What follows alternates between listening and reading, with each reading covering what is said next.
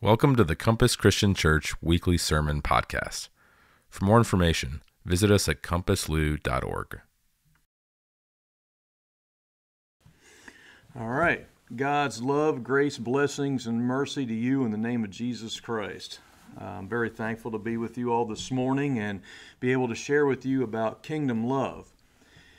Something that's very exciting about kingdom love or love in general, love is what energizes everything. It's the key.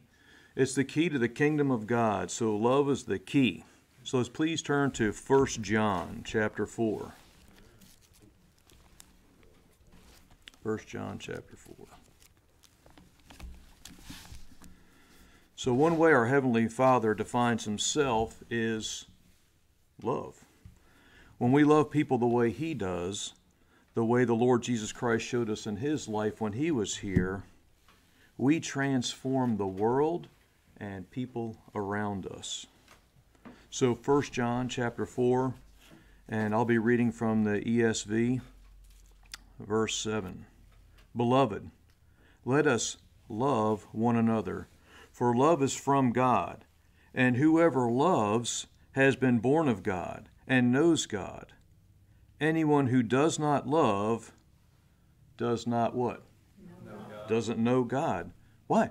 Because God is love, right? So if we are we know our heavenly Father and we imitate him, then we're going to manifest love. But if we're not loving others, we truly don't understand our God. Anyone who does not love does not know God because God is love. It just says that plainly. I love that. I'm glad he tells us who he is.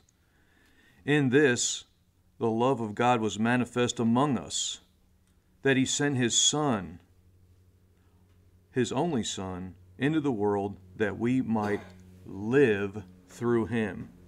Well, that's what we want to do, right? We want to live. We want to enjoy this life, not just survive, not just get by but when we know our Heavenly Father and we see what He has available for us and we are living love, we truly live. It's a life worth living. Verse 10 In this, not that we have loved God, but that He loved us. And that's talking about motive. That gets into motive, our motive of life. We love because He first loved us and sent his Son to be the propitiation for our sins.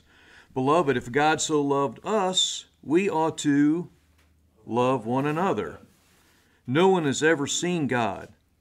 If we love one another, God abides or dwells or lives or remains in us, and his love is perfected in us. And this word perfected means brought to full maturity, full um, experiential knowledge amongst ourselves and others. It gets back to um, uh, that thy will be done on earth as it is in heaven. God is love. And when we live love, we're living the way He wants us to, and we are bringing that kingdom reality into a microcosm of our own lives by doing such a thing. Now, this word propitiation is not a common word that we use uh, in every day. I mean, I probably rarely bring it up even in a month, unless I'm talking about the word, right? so, uh, propitiation is the act of gaining or regaining, regaining the favor or goodwill of someone or something. So, Jesus Christ traded his life, his sinless life, for ours. And we understand that sin, the wages are death. So he paid all those wages for us by accomplishing God's will in his day and time for fulfilling the law.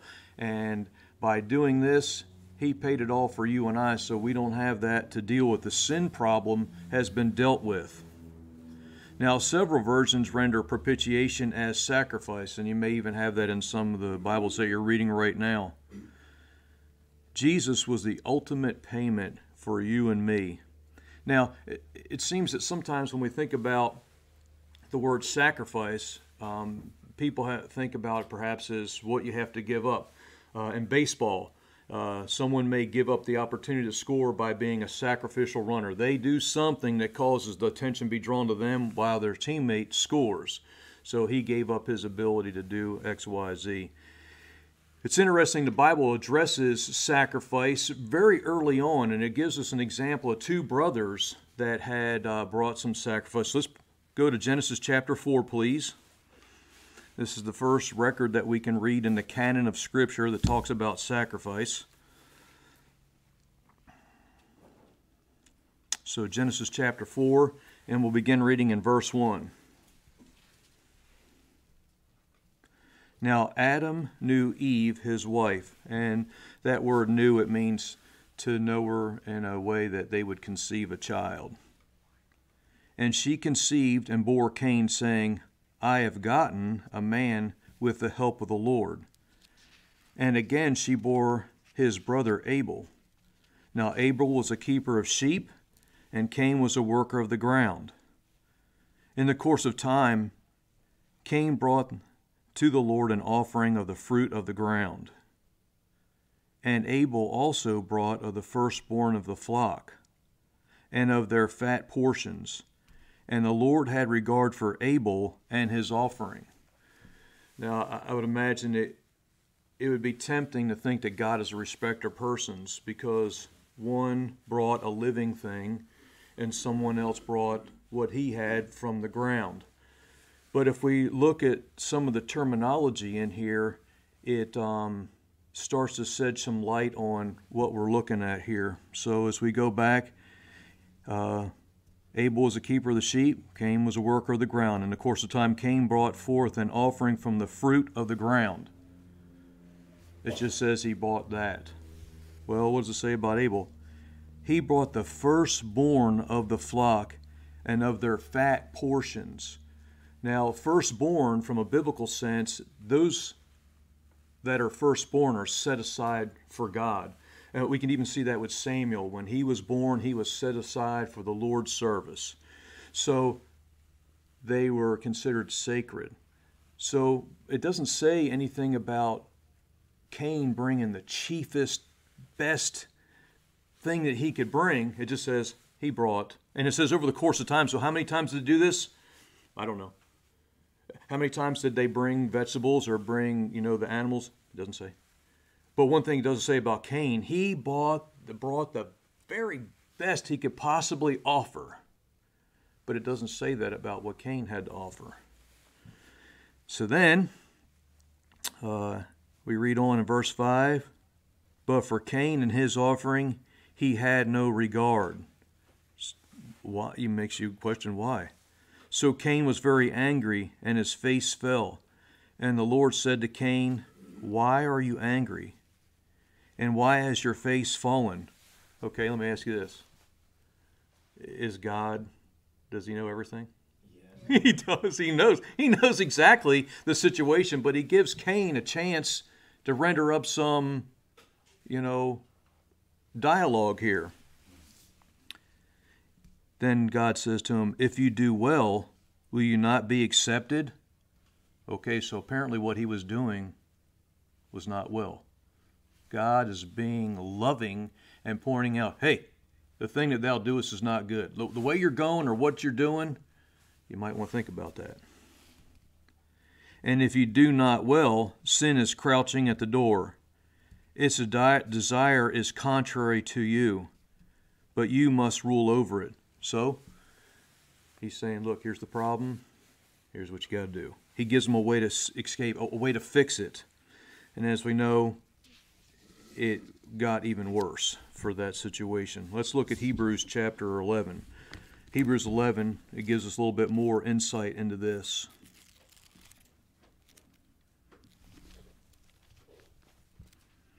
Hebrews 11, and we'll read in verse 4.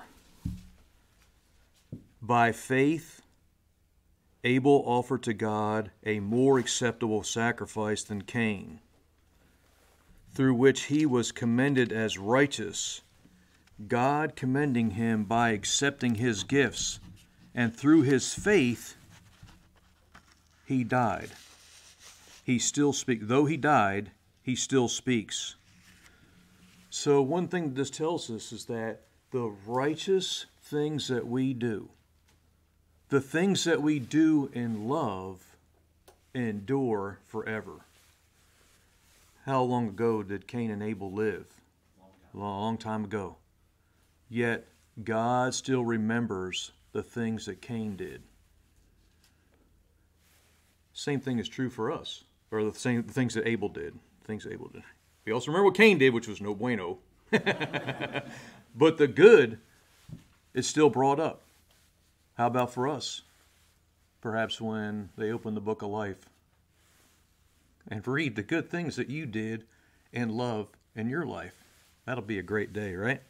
God is not unrighteous to fit, forget our work of believing and labor of love.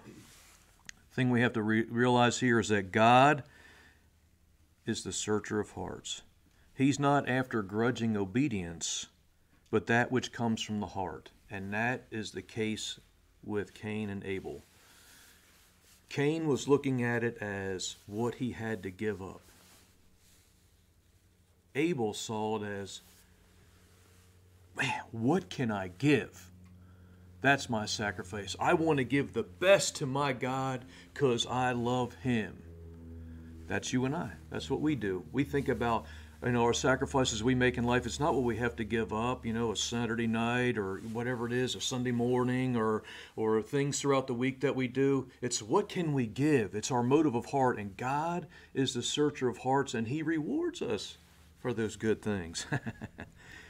It has to go back to motive like i said. Let's go to 1 john again for chapter 4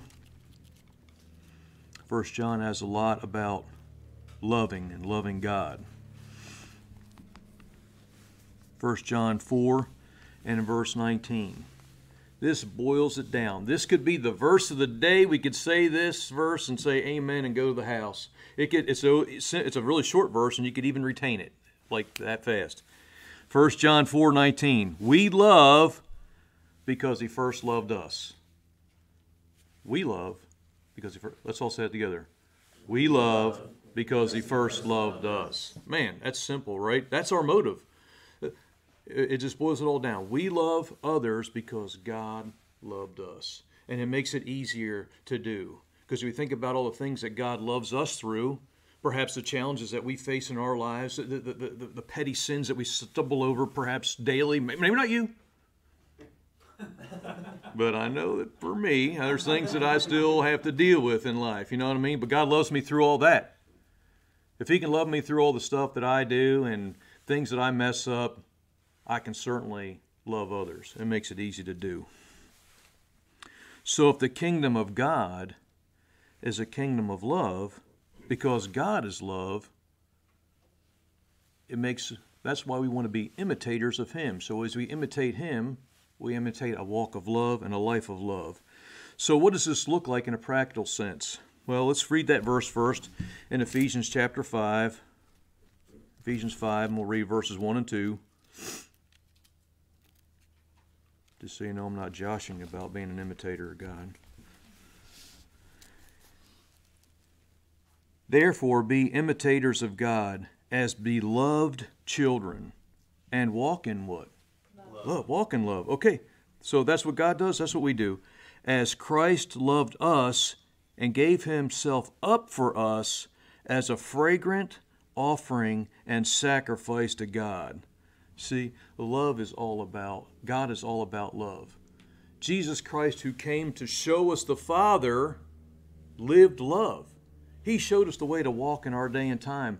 All kinds of little lessons and parables and teachings and actions and loving the unlovable, hugging and touching the untouchable, dealing with the sin problem so that you and I don't have to do it. He showed us the way. Let's look at Romans chapter 12, verse 1. I'm sure you all probably already know that one. It's talking about sacrifice again.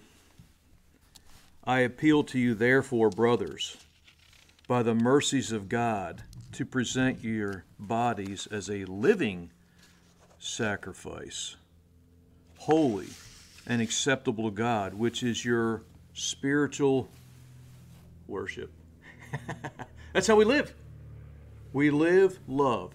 And that sacrifice, we don't have to go through and experience the same thing that our Lord did. He already did. He paid that price once and for all. He was the ultimate Passover lamb, and by his blood, all of us are clean. Therefore, we don't have to go down that road and drink the cup of wrath that he drank. What you and I can do is be living sacrifices, putting ourselves out there for one another, loving one another, being there in challenging situations, whatever the need is, whatever it looks like, that's what we do. This is the practical application of worship. Singing in worship, that's one way to worship. Another way to worship is to live love. Your life becomes worship when we live love. That's the kingdom being brought into present day reality for you and I. Wherever we go, wherever we live love, it's a example of what the kingdom will be in the future. Let's look at Luke chapter 10. Our Lord spent a lot of time showing and teaching us what it looks like. He broke down a lot of man made religious barriers to show us what living love looks like in a practical manner. So, Luke chapter 10 and verse 25. And behold, a lawyer stood up and put him to the test, saying, Teacher, what shall I do to inherit life, eternal life? And he said unto him, Now, see, that's the thing I really love about Jesus. There are times when people would ask him questions, and man, he would just lay out the word for them, the truth, or teach them something. He would tell them. But he was also really masterful at rep- you know understanding somebody's motive. And if they were coming at him to try and bait him or trick him or do something, he would answer their questions with a question. and I love that. And, and, and, sometimes in witnessing, when you're when you're talking to people, you can see, you know, does this person really want to know what I have to say, or are they just trying to like goad me down this path and then, you know, try and get me in the end? So just do what the Lord did. It makes it simple. Just ask them a question. Well, what do you think about that? Then you get to see where they're coming from. he said to him, What is written in the law? How do you read it? So he gave him the chance to speak. He answered, You shall love the Lord your God with all your heart, with all your soul, and with all your strength, and with all your mind, and your neighbor as yourself. And he said to him, You have answered correctly. Do this and you will live. So he asked it. The guy already knew the answer to the question, obviously. Why did he ask Jesus? You know what I mean? And he said, All right, well, that's a great answer. Do that, and you'll live. But he, desiring to justify himself, said to Jesus, And who is my neighbor? Oh, that's a good question, right? So Jesus replied, and he replies over the question. It's, it's long because he tells this parable first, and then he gets to the question in the end. He says, A man was going down from Jerusalem to Jericho. Now, that's a dangerous thing to do. There was lots of hidden rocks, it was a windy path, and robbers and thieves would hang out and accost travelers, especially if they were coming from Jerusalem going towards Jericho or headed towards Samaria into that land is just not good.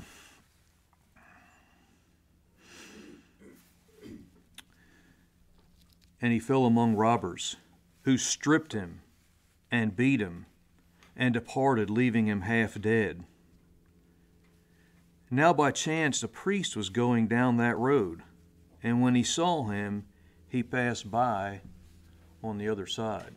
So here's the religious leader of that time. He's a guy that probably spoke to the congregation. He may have even seen this guy in the crowd sometime. He saw him. I'm going over here. He walked away from that scenario.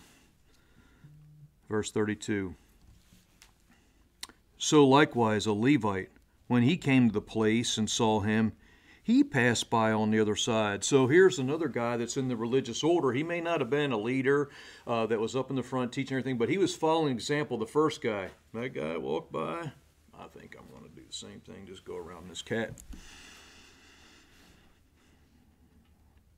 But a Samaritan. Now, this, the audience that he was speaking to might have, you know, cringe a little bit because Samaritan, you know, they they didn't have respect for these people. They were uh, what they viewed as half breeds. You know, all the all the children of Israel that you know got carried away onto Babylon and this place and everything, and they all kept their pure genetic lines and blah blah blah. But those Samaritans mixed with the locals and blah blah blah. You know, they're not pure.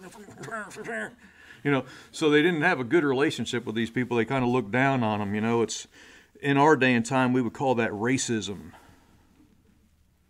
So this Samaritan, so the people, oh, he said Samaritan. Oh gosh. As he journeyed, came to where he was and when he saw him, had compassion.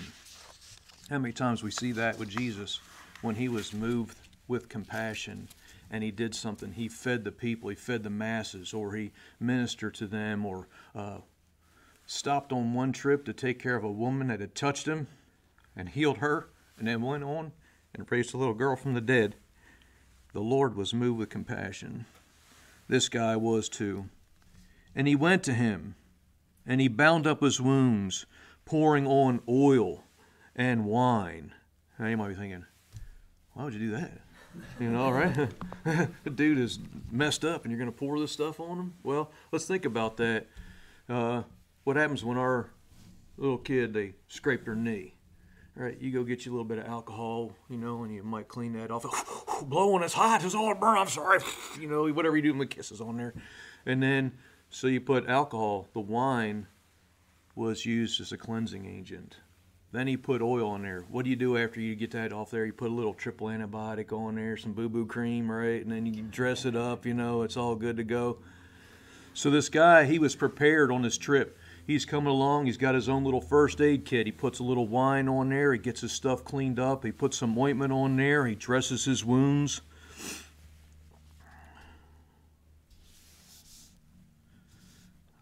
pouring on oil and wine. Then he set him on his own animal and brought him to an inn and took care of him. So, you know, he didn't make the guy, all right, are you good enough to walk? I'm going to ride on my donkey here while you are in. No, he took him on there, his own beast, and he took care of him. So he ministered to him further when he was at that inn. And the next day he took out two denarii and gave it to the innkeeper, saying, Take care of him and whatever more you spend, I will repay you when I come back. Which of these three do you think proved to be a neighbor to the man who fell among the robbers? So here he gets to the question, right? And the guy's like, oh, the one who showed mercy. And Jesus said to him, You go and do likewise. Ah, you want to live? You want to have eternal life? Live love. That's what he's saying. I'd like to bring this parable a little bit into modern times for us and thinking about this thing and what it represents figuratively. That guy that was accosted and broken down on the side of the road and beat up, that's the people of the world. They've been tore up by the adversary. They've been treated bad. They find themselves in different challenging scenarios, whatever that may be. That's the people of the world. Along comes this traveler. You could think about that person as Jesus Christ. Or you could think about that person as someone who's born again, live in love, and they take care of that person. And they take him to the inn, which is us here at Compass. Here and other places, other churches. They take him to the church. And he says, Whatever you spend in your life taking care of this person, however you put yourself out, when I return, I will repay. That's the rewards of the future. Anything that we do for God in love in this day and time is going to be repaid for all of eternity. Does that sound A, no bueno, or B, very good? very good, right? Yeah, that's a trick question. All right. So um, let's go to Mark chapter 12. So, loving service. Love has to be done with the right, I mean, doing this service has to be done with the right motives. And we'll see a glimpse of the kingdom of God when we live this way. So, Mark chapter 12 and verse 28. And this is a this is a similar record, but not exactly the same, and you'll see how it unfolds. And one of the scribes came up to came up and heard them disputing with one another. And seeing that he answered them well, asked him, Which commandment is the most important of all? Jesus what? He answered. He answered the guy. He didn't ask him a question, did he? He answered this question because he recognized the motive of this man's heart in this particular scenario. Answered, The most important is, Hear, O Israel, the Lord our God, the Lord is one. That's known as the Shema or Shema. And they still say it today. Some of the mezuzahs that you see on the doors, like when you come into this synagogue, there's a little thing that's got a prayer in there. A lot of them have that very same thing inside that, all rolled up. If you were to open it up and read it, and if you could read Hebrew, part of it is the Shema. And you shall love the Lord your God with all your heart, and with all your soul, and with all your mind, and with all your strength. The second is this you shall love your neighbor as yourself. There is no other commandment greater than these. And the scribe said unto him, You are right, teacher.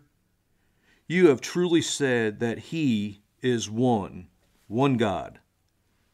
There is none other beside him. And to love him with all the heart, and with all the understanding, and with all the strength, and to love one's neighbor as oneself is much more than the whole of burnt offerings and sacrifices. Those things are important at day at day and time, but that was just an act living the word and living love is so much more important than just doing works. Works for work's sake only gives you a reward in this day and time. But whatever you do for God in love and helping out your neighbor and whatever the situation is, that yields reward for all eternity. That's what we do. That's how we live. That's our motive. God loved us, so we love one another. And whatever that takes, whatever that means, whatever that looks like, if it's taking care of the people that are broken down in this world for whatever's happened to them, they've been accosted by the adversary or by the devil, we're in there. If it means running over to help your house, your friend's house because you had a big windstorm and it peeled back his roof, and you go over there and help him, and you do it with the right motive, rewards for all eternity. It's not necessarily just giving money, sometimes it is that. But sometimes it's what you do. It's taking a meal to someone that just had a baby. Someone is maybe having a challenging in life or whatever, and you go and you help them out, you clean their house.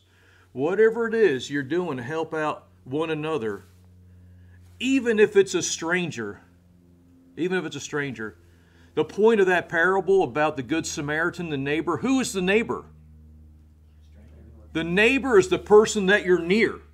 It's not your physical landlocked neighbor next to your house. It's whoever you're near. That's your neighbor. Right now, it's whoever you're sitting next to in this church. Other times, it's who you're next to in the grocery or driving down the road or whatever it may be. Whoever has a need, that's your neighbor, and we love them.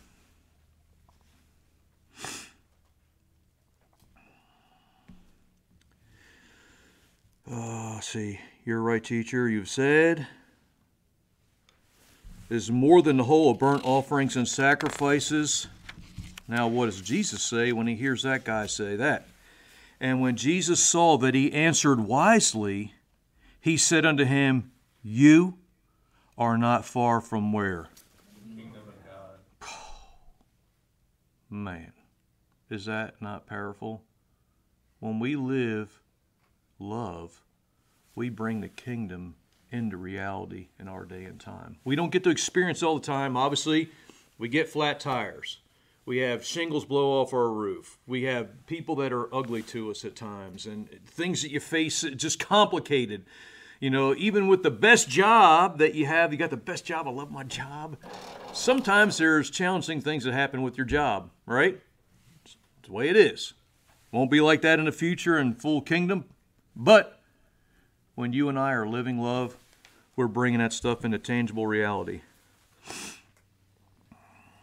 1 Corinthians 13 8 tells us that all of all the things that will end in the future, love is not one of them. You know why? Is God, God is eternal, right? God's eternal. God is love. Therefore, axiomatically, or as Will likes to say, mathematically, things that are equal to the same thing are equal to each other, Euclid's theorem. If God is eternal, love is eternal. It never ends because that's who He is. And we get to imitate that. I love that. Let's go to Luke 15. And uh, we're going to close in this record. And for you guys that are looking at this in the future and you'll see the little uh, charts or whatever, I have to apologize. My dyslexia got the best of me. It'll say Luke 11, 15. I messed it up. It should be Luke 15, 11. All right, so go ahead and get my penance out right now. So Luke 15. Now, this record here is pretty cool. Charles Dickens said that this was the greatest short story ever written. That's really something when we consider this record about the forgiving father. Now, we see a lot of records in the Word about sons Cain and Abel, Jacob and Esau, uh, Ishmael and Isaac, Joseph and the rest of his brothers, and all that scenario. And sometimes these brothers can be applied allegorically to present life. Uh, in this time when Jesus is laying out and unpacking this record, these two brothers represent the whole of society. And I want you to think about that as we go through this. One brother represents the Gentile nations, the other brother represents the children of Israel, the Judean nations, those all that. So let's consider that as we go through this. Luke 15, verse 11. And he said, There was a man who had two sons, and the younger of them said to his father, Father, give me. Okay, that's not, not a good thing, you know I mean? Even in that day and time, that was no a good thing. So, give me. Uh, it's an improper request. The share of property that is coming to me. And he divided his property between them and not many days later, the younger son gathered all that he had, which would have been one third of what his father owned. The older son, because he was firstborn, would have gotten a two, uh, a double portion of whatever any other son would get. So he had two sons; it would have been divided in thirds. The younger son gets a third. And he took all the all that he had.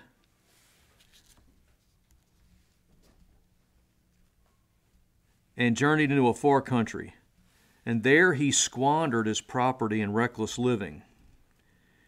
And when he had spent everything, a severe famine arose in that country, and he began to be in need. So he went and hired himself out as one of the citizens of that country, who sent him in the fields to feed pigs. uh, I laugh because the audience that Jesus would have been talking to, they, they thought pigs were disgusting. They didn't eat them. They didn't touch them. They didn't raise them. They didn't do anything with them. So for this guy to have to go feed pigs, they'd have been like, oh no, that's terrible. And he was longing to be fed with the pods that the pigs ate, and no one gave him anything. So all the people he'd been partying, and yucking it up with, were gone.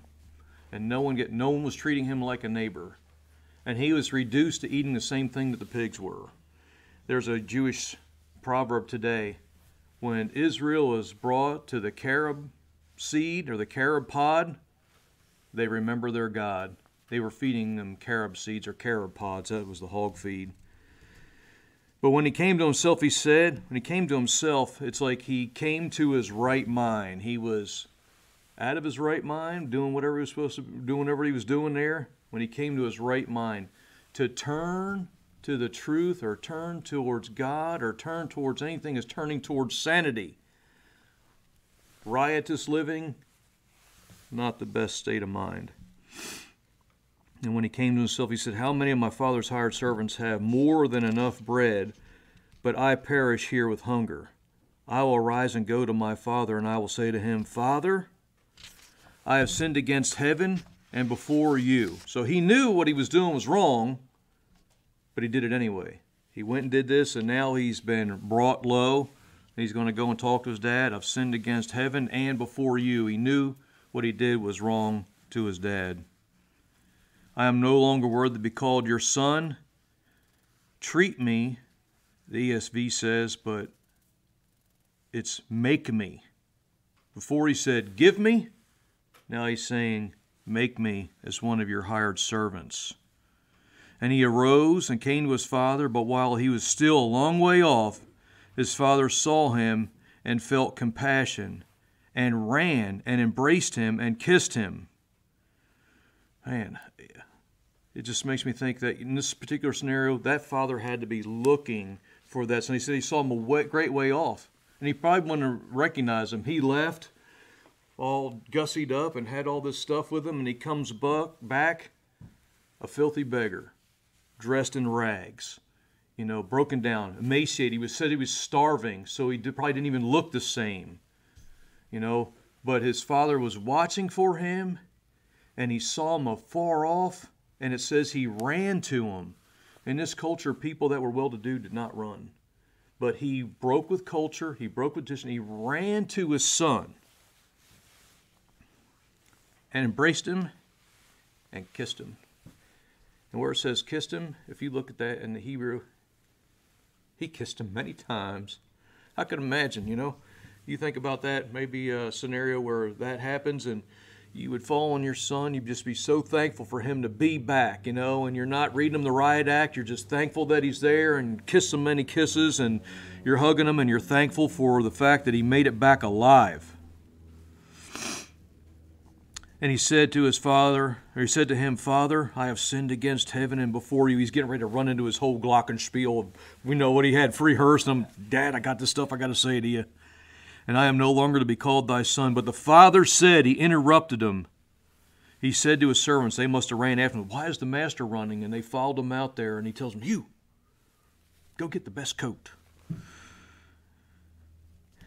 Bring quickly the best robe and put it on him and as we go through this, I'm just going to unpack it as we go, so because I'm getting short on time here. Being the best robe. Think about this in our day and time, being clothed with the gift of Holy Spirit. Let's think about that as we go. And put on him, put it on him, and put a ring on his hand. And that hand, that ring would have been the family signet ring. And we would have give that boy he took everything he had with him before, so he didn't have it. So the father must have been ready for him to come back, and he put a signet ring on his finger, and it gave him all the power and authority of that family. When you and I give the gift of the Holy Spirit, we have the power and authority to operate that gift. And shoes on his feet. Servants didn't wear shoes. So to put them there, he's received fully back into the family with nothing held back. You are back to being a member of this family. And bring the fatted calf and kill it, and let us eat and celebrate. For this my son was dead and is alive again. He was lost and is found. And they began to celebrate. This parable is the third in a series of things that were lost. There was the lost sheep, the lost coin, and the lost son. In all these records, the thing that was lost was not aware of the anguish of the searcher looking for that. And when it returned, all three of those instances, there was rejoicing. Now his older son was in the field, and he came and drew near to the house. Well, that's where the party was. Where? In the house. Well, think about now. Where do we want to be? In the household of God, right? In the Father's house he heard music and dancing, and he ran where right in to see what was happening. No. And he called one of the servants and accosted him, or he asked him what these things meant. And he said to him, Your brother has come home, and your father has killed the fatted calf because he has received him back safe and sound. And his brother was like, Woo! nope. All right. But he was angry and he refused to go in, go in the house. That's the place to be. That's where the father was. That's where his brother was. That's where the party was. That's where all the blessings were happening. His father came out. Do you see the love? The father goes out to the son that was lost, and he goes out to the son that was still with him and entreated him. But he answered his father, Look, these many years I have served you, and I have never disobeyed your command. Is that true? I don't know. Does every son do everything that his father wants him to do? No, he's being a little exaggerated here, huh? Uh, disobeyed your command. Yet you never gave me a young goat that I might celebrate with my friends. But when this, your son, the son of yours came, right? He's not saying, my brother comes back, right? No, this, your son. He puts it on his dad who has devoured your property with prostitutes, you killed the fatted calf for him. And he said to him, Son. And when you see that in the in the Greek, it's my beloved and endeared child. He's reaching out to him, just like he reached out to his other son. You are always with me, and all that is mine is yours. It was fitting to celebrate and be glad, for this your brother was dead and is alive. He was lost and is found. So this summarizes, summarizes all of society Judean, Gentile, the ones that stayed, the one that left, the one that was trying to do its best to be self righteous and fell short, was angry, and the other one that realized, hey, it's better to be with my Father, with our Heavenly Father. He decided to go back. You say, okay, well, if this is a summary of our day and time, well, and the house represents the household of God because that's what there are today Judean, Gentile, and Church of God. Where's Jesus? Jesus is represented in this parable by the love of the Father. He extended to both. For God so loved the world that he gave his only begotten Son, that whosoever believed in him shall not what? Perish, but have everlasting life you and I have the privilege of reaching out like that forgiving Father, like the Good Samaritan. You and I, when we go into this world, we are reaching out with God's love and calling people back to what is available. The place to be is in the household of God, is to be with God and in relationship with Him, to have that enjoyment with all of us. Right? That's where we want to be. So as we do these things, as we love, we heal, give a message on Sunday, a tongues of interpretation or prophecy, whatever we're doing in love, bringing into the supernatural, into tangible reality, or just loving by gifts of service or acts of service to one another, we show the kingdom of God in love to all that we come in contact with. So, Heavenly Father, we truly do love you and are thankful for what you've given us, for this great life that we get to live and the blessings that we have, the forgiveness that we have, that we can leave all of our baggage and dirty laundry at the door and come in and rejoice with you and your household. Thank you for keeping your hedge of protection around all these people and for the people that we're going to come in contact with in the future, how we can reach out with your love to embrace them, to love the unlovable, to hug the unhuggable, or whatever that needs to be done at that time that we can show you to the world so that when they see us, they can see an example of what it is to live love and to be with you. We thank you for all these things and we praise you for your greatness and your goodness and your heart and your mercy and forgiveness. And we say all these things, Father, in the name of your tremendous Son, Jesus Christ. Amen. Thanks for listening to the Compass Christian Church weekly sermon podcast. For more information on how we are striving to follow Jesus together here in Louisville, Kentucky, check out our website, compasslou.org, where you can subscribe to our newsletter and view additional resources.